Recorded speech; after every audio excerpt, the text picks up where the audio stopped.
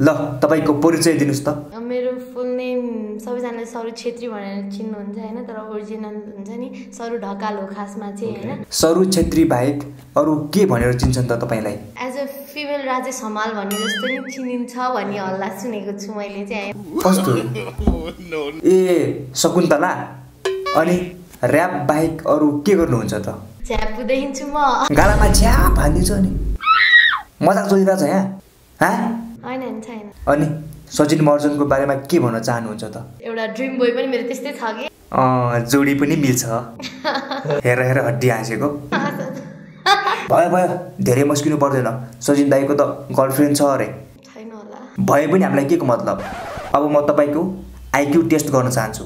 भन्नुहोस् एउटा बच्चा जन्मिन कति महिना लाग्छ? लाग्छ एक दुई महिना लाग्छ।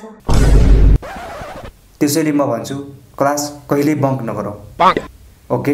यदि एमिनेमले तपाईँको ऱ्याप सुनेर बहिनी राम्रो ऱ्याप हान्दो रहेछौ अब मिलेर एउटा गीत निकाल्नुपर्छ भनेर प्रस्ताव राख्यो भने तपाईँले के भन्नुहुन्छ? बाल छैन अहिले बाल छैन म त झ्याप अनि अस्ति हाम्रो भिटेन दाजुले नाइस कभर सङ भनेर मेसेज पठाउनु भएको थियो अरे। तर तपाईँले मेसेज सिन गरेर रिप्लाई नै दिनु भएन अरे किन?